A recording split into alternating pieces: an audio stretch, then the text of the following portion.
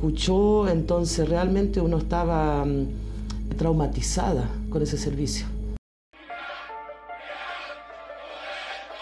La historia siempre habla de las personas que luchan y se sacrifican por su país. Narran los sucesos de gente importante que acabaron con un batallón o que libraron a un pueblo entero.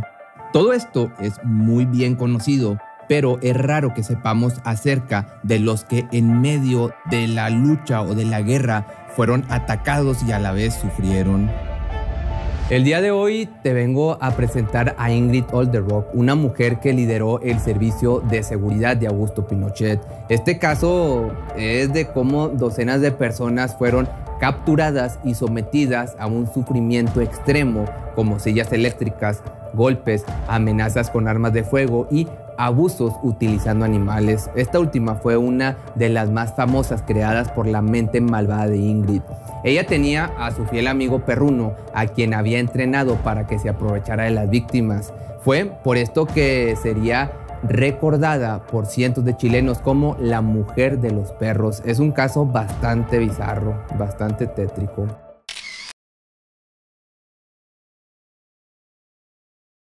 Ingrid Felicitas Olderock Bernard nació en marzo del año del 44 en el seno de una familia alemana. Su padre tuvo que trasladarse a Chile a los 29 años ya que los alemanes habían perdido la guerra y por orgullo no quería mostrar la cara ante la derrota. Siempre fue un hombre muy estricto y correcto. Nunca intentó llevarse bien con los vecinos o con sus compañeros de trabajo, puesto que pensaba que eran de una raza muy inferior. Conoció a su esposa a principios de los años 30, se casaron y rápidamente tuvieron hijos. Él se encargó de educarlos en casa porque no dejaba que otras personas se les acercaran o que aprendieran el idioma español. No hace falta decirlo, pero él era un orgulloso hombre alemán de estos grupos de la Segunda Guerra Mundial, no te digo nombre para que no nos censuren, que quería implantar en la cabeza de sus sucesores que eso estaba bien y que ellos deberían de sentirse orgullosos. Ingrid fue la que más obedecía a su padre, mientras que sus hermanos Hannelore y Karin no estaban muy de acuerdo con los pensamientos racistas de su padre. Desde pequeña fue muy activa en ciertos deportes. Le encantaba jugar tenis, montar a caballo, patinar en hielo, escalar montañas y hasta fue cinturón azul en judo. La familia tenía un buen ingreso económico, por lo que nunca batallaron en darle a sus hijos todo lo que pedían. Estos pasatiempos fueron enseñados por sus padres ya que de ninguna manera querían que los chilenos se acercaran a los pequeños. Nunca pudieron hacer un amigo o conocer el país por sí solos porque el padre pensaba que algún día regresarían a su nación y no valía la pena encariñarse con Chile. En cuanto los niños cumplieron la mayoría de edad, se salieron de casa para dejar de estar bajo el régimen de su papá y sus pensamientos, pues, sus pensamientos bobos. Pero Ingrid era diferente. Ella sí creía en todo lo que su tutor le había enseñado durante toda su vida. Antes de que ella cumpliera los 15 años, su progenitor perdió la vida dejando completamente solas a ella y a su madre. Cayó en una gran depresión, pues el hombre más importante de su vida había perdido la vida y no sabía cómo manejar sus sentimientos, por lo que todo el tiempo estaba llena de ira y enojo. Sus hermanos por el otro lado volvieron a casa a mostrar respeto y velarlo, pero no pudieron enterrarlo en Alemania como él había querido, pero sí le organizaron un funeral muy al estilo de aquel país de Alemania. Varios meses después de este lamentable suceso, Ingrid se enteró de que parte de la herencia tenía que ser repartida a sus hermanos. Esta idea no le agradaba tanto porque en sus últimos días ellos no estuvieron presentes. Este acontecimiento fue un parteaguas ya que para ese entonces Ingrid aún no sabía de lo que era capaz de hacer hasta ese momento en donde, consumida por el rencor, ideó un malévolo plan para hacer sufrir a su, a su hermana. Estuvo espiándola durante meses, veía cómo salía con sus amigos y tuvo que aprenderse los horarios de salida de su trabajo. Comenzó a practicar el español para poder hacer amigos que la ayudaran con su descabellada idea. El grupo con el que Ingrid se juntaba eran hombres, quienes solo estaban con ella para obtener, pues, placer, ya sabes.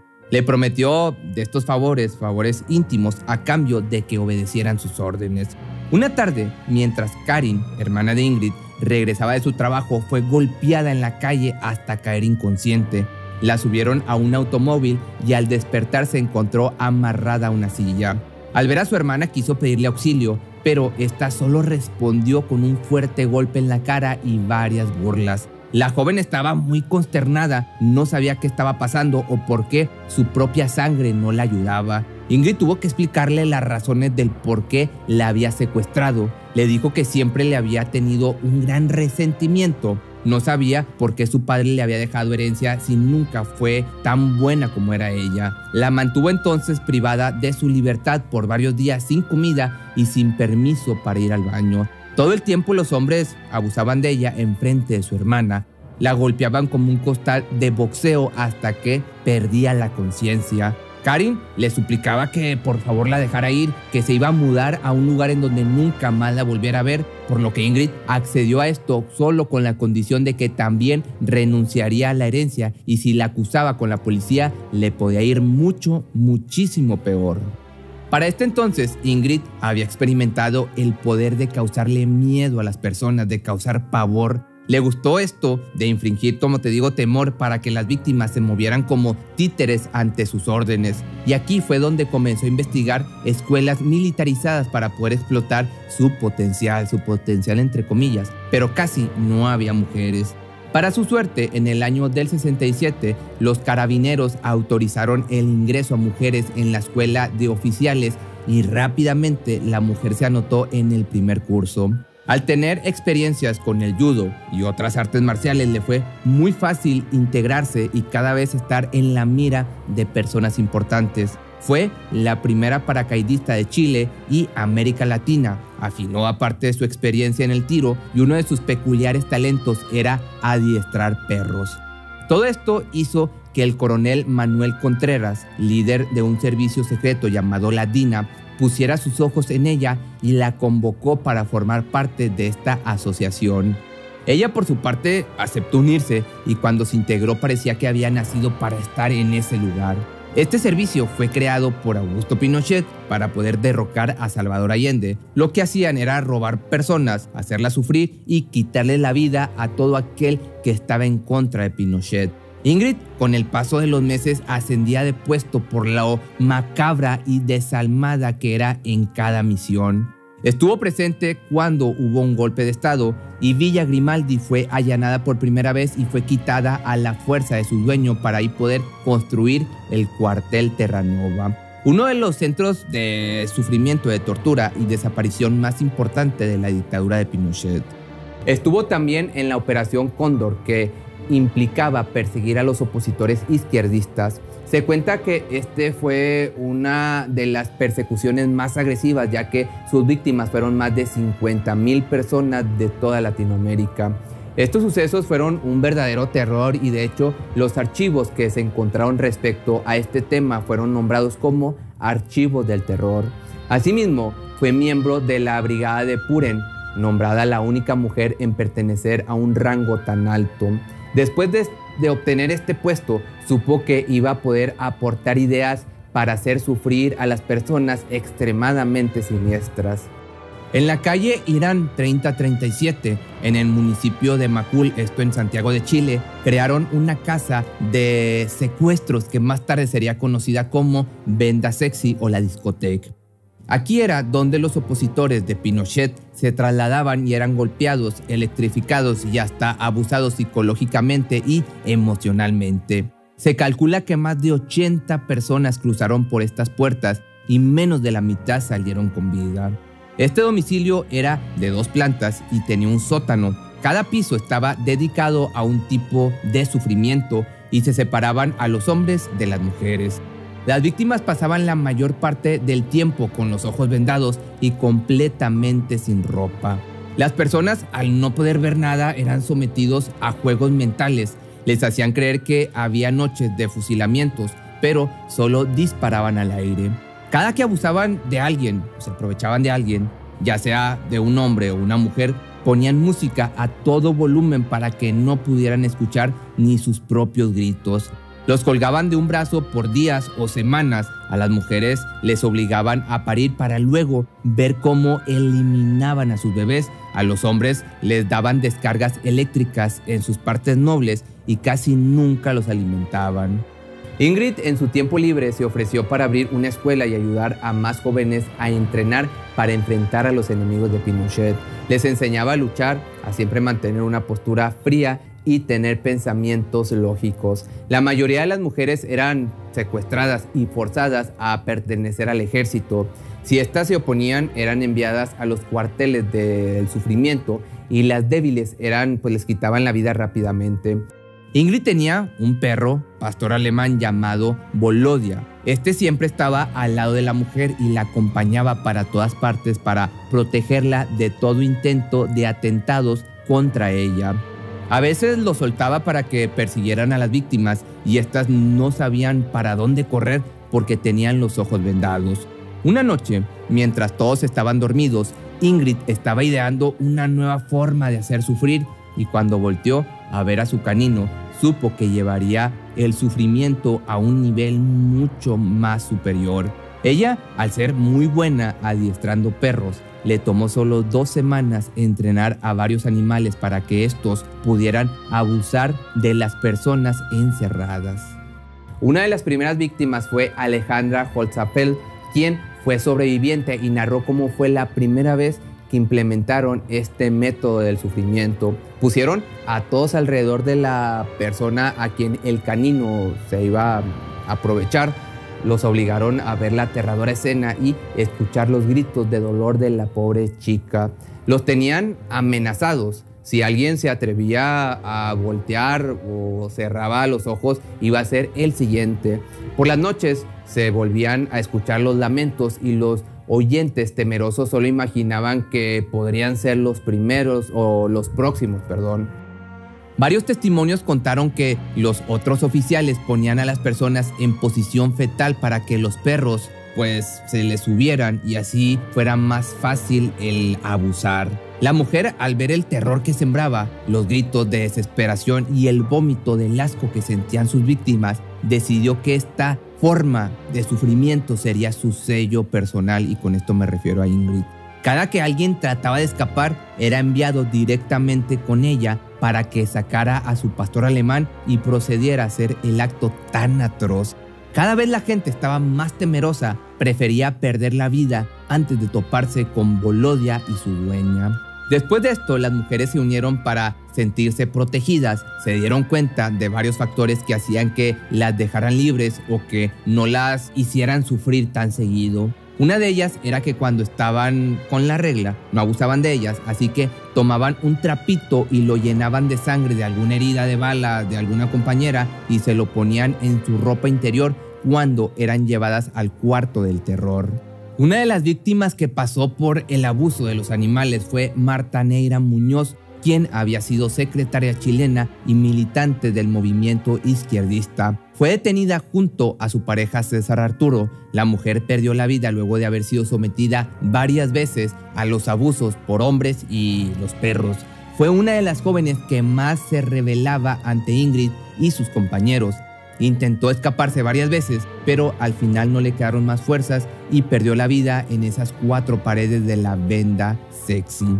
Aunque en la discoteca no hubo numerosas muertes como en otras zonas donde también había cuarteles del sufrimiento, se dice que sus métodos eran mucho más violentos y atroces porque hacían mucho énfasis en las vejaciones de tipo pues de abuso. No hubo desigualdad y todos sufrían gracias a que estaba bajo el control de Ingrid.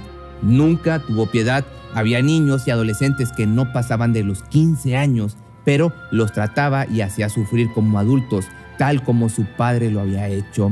Estar al mando le recordaba cada día a su padre. Creía que tal vez estaba orgulloso de ella por luchar para el país que la vio crecer, así como él luchó por Alemania.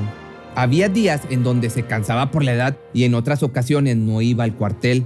En la cara se le notaba el sueño y el desgaste. Llegó a pensar que ya era momento de su retiro, o que tal vez debía renunciar, así que pidió consejo a uno de los agentes, pero este solo le recomendó que siguiera trabajando porque era demasiado buena en lo que hacía. La mujer siempre tenía cerca tres pistolas a la mano, una en la cartera, la segunda en la mesa de la noche y la tercera en el horno en la cocina, porque corría el rumor de que existía una organización en contra de la DINA conformado por ex agentes. Muchos comenzaron a temer porque cada vez se hacía más grande el grupo enemigo, así que en julio del año del 81 ella salía de casa para dirigirse al cuartel, pero de repente varias camionetas pasaron como caravana y comenzaron a dispararle. Para su suerte solo recibió dos disparos, uno en la cabeza y otro en el brazo.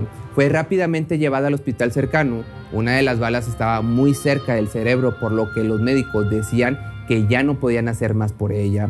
Varios de los agentes amenazaron a todo el personal médico para que pudieran salvarla, así que ellos solo les dijeron que para mantener con vida a esta mujer tenían que dejarle la bala en la cabeza. Fue entonces enviada a casa, sobrevivió a las dos balas, pero las secuelas le impedían seguir yendo al cuartel y hacer cosas que requerían mucho esfuerzo. El país entero escuchó este suceso y lo consideró como una especie de milagro. Una de las revistas de hecho más importantes de Chile escribió lo siguiente. Seguramente que por su personalidad tan esclarecida y por su fe cristiana ha sido dotada de una vitalidad espiritual y física que le ha permitido sobreponerse de las graves lesiones inferidas, semanas atrás por un despiadado criminal al servicio del comunismo ateo y sanguinario. También agregaron que era un oficial ejemplar y que por eso se merecía la segunda oportunidad que la vida le dio. Mientras pasaban así los meses y luego los años, la mujer se frustraba cada vez más. Había pasado gran parte de su vida haciendo sufrir a las personas, desde su hermana hasta las mujeres inocentes de Venda Sexy. Escuchar llorar a las personas e infringir miedo era una rutina para ella, pero todo esto acabó desde la vez del atentado puesto que sus compañeros tampoco querían que se arriesgara a que otra persona la atacara. Ella comenzó a pensar en que tal vez el asalto que tuvo fue planeado por uno de los servicios secretos por su intento de deserción. Se sentía con esto apenada con ella misma porque sentía que estaba deshonrando a su padre y a su nación. Por momentos pensaba que merecía tener la bala en la cabeza como, digamos, recordatorio de lo débil que fue al querer renunciar a su trabajo. Vivió muchos años más después de casi morir por los disparos.